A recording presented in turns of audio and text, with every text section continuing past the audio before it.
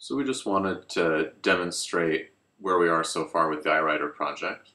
So what you're seeing right now is the camera is focused in on the user's pupil uh, and is doing just pupillary detection. Then the user looks at different locations on the screen and the software calibrates where the user was looking and how the pupil appeared to generate a green dot where it believes the user is looking at the screen and in this exercise, the user is just trying to move the green dot to a square just by looking at the screen. Other applications, of course, include something like this, the very basic keyboard functionality, and here we're demonstrating how typing might work uh, at a very rudimentary level. And of course,